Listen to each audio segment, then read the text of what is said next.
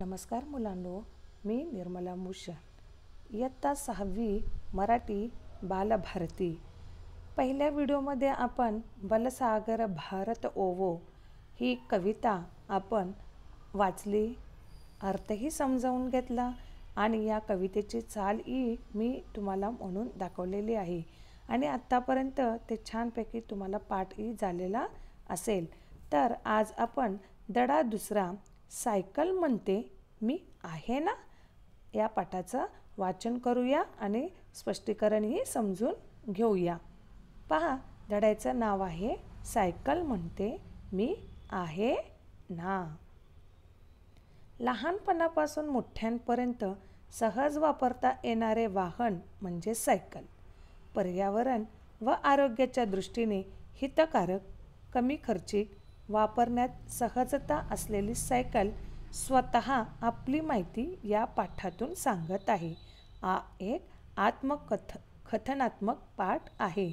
पा किती सुंदर आहे. लहानपणापासून तुम्हाला सर्वांना माहिती आहे. लहानपणापासून मोठ्यापर्यंत सर्वांना वापरता येतं ते म्हणजे सायकल. पर्यावरण व आरोग्याच्या दृष्टीने हितकारक. म्हणजे प्रदूषणही होणार नाही सायकलमध्ये कारण त्याच्यात पेट्रोल डिझेल काही लागणार नाही आहे आणि आरोग्याच्या दृष्टीने हितकारक. सायकल वापरल्यामुळे आपल्याला काय फायदा होतो? व्यायाम होतो शरीरास. म्हणजे चांगल्या दृष्टीने आहे. कमी खर्चित त्याला खर्चही पेट्रोलचा डिझेलचा खर्चही लागत नाही. आणि वापरण्यामध्ये सहजता ती जडही नसते. त्याच्यामुळे सायकल वापरणं खूप सोपं आहे. म्हणून सायकल काय आहे? या पाठातून आपली स्वतःचीच माहिती ती सांगते. म्हणून हा पाठ एक आत्मकथा या प्रकारातला आहे. या ठिकाणी पहा. खालील चित्रे पहा. ज्या वाहनांनी तुम्ही प्रवास केला आहे त्यापुढे दिलेल्या चौकटीत पेन्सिलीनं बरोबर अशी खूण करा. आता तुम्ही सायकल वापरला असाल तर सायकल करा. किंवा ज्याला आपण टांगा म्हणतो त्याच्यात चढलेला असाल तर त्यालाही टिक करा. एस टी बस असेल त्यालाही रेल्वे आहे त्यानंतर गाडी आहे इथं नाव दिसते त्यानंतर बोट आहे आणि विमान आहे. शक्यतो बोट आणि विमानापर्यंत आपण गेलेलं नसायला ज्याने गेलेलं असेल प्रवास केलेला असेल त्यांनी बरोबर करू शकता.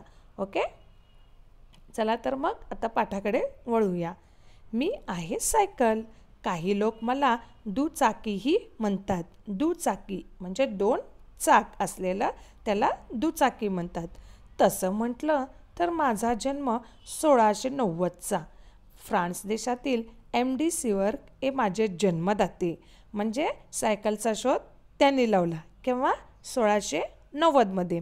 अठराशे शहात्तर साली एच जे लॉसन यांनी मला गती यावी म्हणजे माझ्यामध्ये स्पीड यावा म्हणून पेडलला म्हणजे ज्याला आपण पॅडल म्हणतो ना त्या पेडलला साखळीची साखळी आहे की नाही आता? दंत तबकडी बसवली. पण मला खरा वेग आला तो रबरी टायरमुळे. त्याला दोन टायर असतात. त्या रबरी टायरमुळे स्पीडपणे मला सायकल चालवता म्हण येतं. अठराशे सत्त्याऐंशी साली बॉईड डन लव यांनी ते शोधून काढलं. म्हणजे या रबरी टायरचा शोध कुणी लावलं?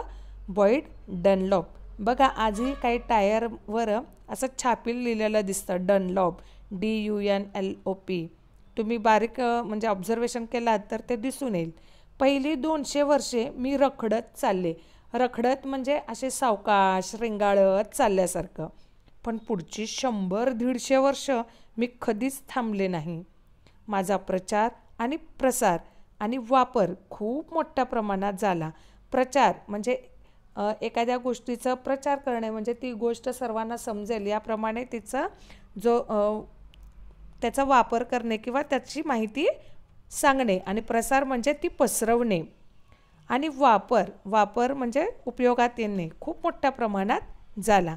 जगातील असा एकही देश नाही की जेथे माझा वापर होत नाही. पूर्ण जगामध्ये सगळ्या ठिकाणी सायकलचा वापर होतो. लहान मुलांचे पहिले वाहन खेळण्यातल्या लाकडी घोडा असेल. बघा आपल्या घरात जर लहान मूल असेल आणि त्यांनी पहिलं पाऊल चालायला जेव्हा शिकेल तेव्हा आपल्या घरातले ना त्या लाकडाने बनवलेलं लाकडी घोडा असतं की नाही खेळण्यातलं त्याला धरून तो चालत असतो. पण दुसरे वाहन मीच आहे. जसा तो तीन चार वर्षाचा झाला की त्याला ट्री सायकल म्हणजे तीन चाक असलेलं सायकल आणतात. म्हणजे व्यवस्थित त्या सायकलचं चाक बॅलन्समध्ये बसून तो सायकल चालवू शकेल याप्रमाणे. आई वडील आपल्या मुलांना सायकल हमखास आणून देतात कारण मुलांना सायकल खूप आवडते. हट्ट करतात. का माहिती आहे? एकतर किंमत माफक आणि अपघाताची शक्यतासुद्धा एकदम कमी. किंमत माफक म्हणजे कमी दरात असतं आणि जरी आपण त्या सायकल शिकताना खाली पडलं तर खूप मोठं नुकसान होत नाही. फक्त थोडंसं खरचडतं थोडंसं म्हणजे खरचटून थोडंसं रक्त बाहेर आल्यासारखं दिसते पण जास्त असं ॲक्सिडेंट होत नाही. तुम्ही त्यावरून पडलात तर खरचटेल थोडीशी दुखापत होईल आणि ती लगेच बरी होईल. मात्र तुम्ही त्यातून धडा शिकाल. धडा शिकाल म्हणजे त्याच्यातून काहीतरी शिकाल. म्हणजे एक प्रकारची शिस्त शिकाल. हां या प्रकारे बसलं तर आपलं बॅलन्स होते. म्हणजे आपण पडू शकत नाही. जर या पद्धतीनं आपण चालवलं तर आपण पुन्हा एकदा खाली पडू. म्हणजे त्याच्यातून अचूक तुम्ही काहीतरी शिकाल. आणि एकदा का तुम्हाला आत्मविश्वास आला की मग तुमची माझी संगत कायमची जुळते. आणि एकदा स्वतःला तुम्हाला आत्मविश्वास वाटला हां आता मला येते सायकल छान चालवायला. तर मात्र तुम्ही माझी संगत म्हणजे माझे सोबत तुम्ही कधीच सोडणार नाही. आई तुम्हाला म्हणते जा दुकानातून साबण घेऊन ये. तुम्ही कंटाळा करत नाही. मला बाहेर काढता आणि ट्रिंग ट्रिंग करत माझ्यावर स्वार होऊन दुकानात जाता. साबण आणता कधी भाजीपाला कधी आजोबांच्या औषधांच्या गोळ्या तर कधी दूध आणता. घरात मी असले की अशी छोटी मोठी कामे कशी फटाफट होतात नाही का? होय की नाही? आपल्या घरात बघा तुम्हाला पण रोज सांगत असतील घरातले लोक. साय सायकल आहे की? जा ना सायकलवर इथं तर आहे. असं सहज बोलून जातात. पण कार बाईक चालवायची असेल तर त्यासाठी खास चालक परवाना काढावा लागतो.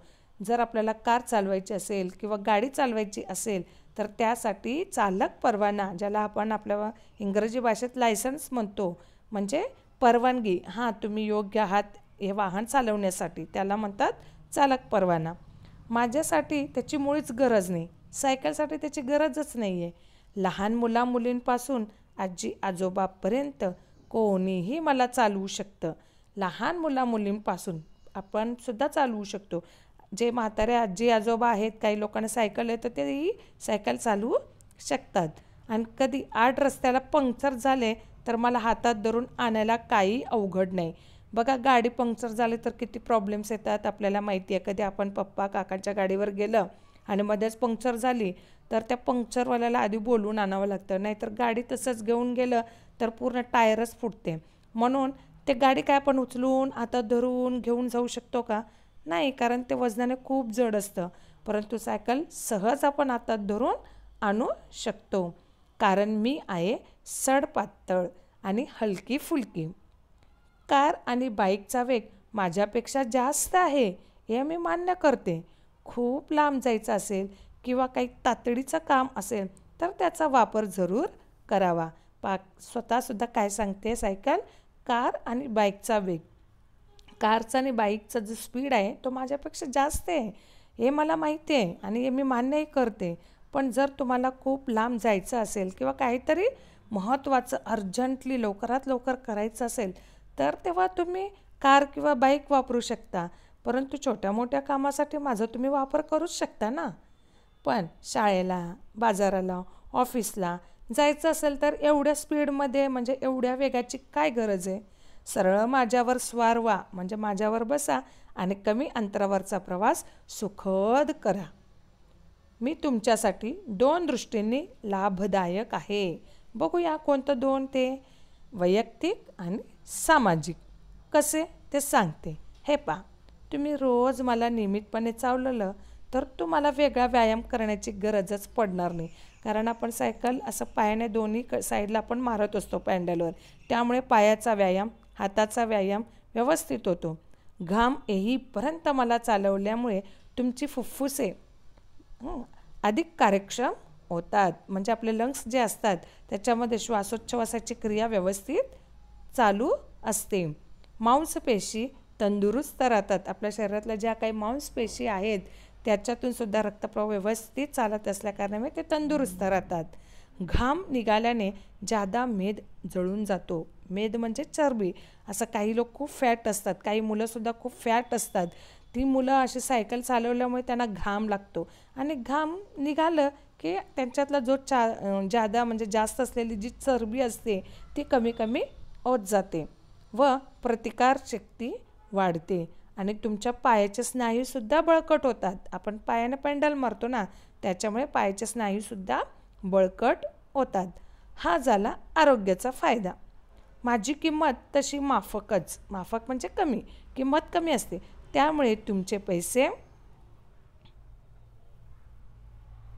वाचतात. म्हणजे कमी खर्चात. बघा बाईक जवळजवळ ऐंशी नव्वद एक लाख अस इथपर्यंत त्याच्या किमती असतात.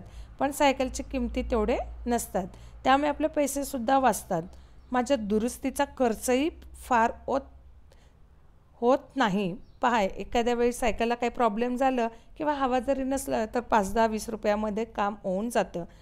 मला पेट्रोल डिझेल लागत नाही. त्याच्यात वापरतो का? नाही.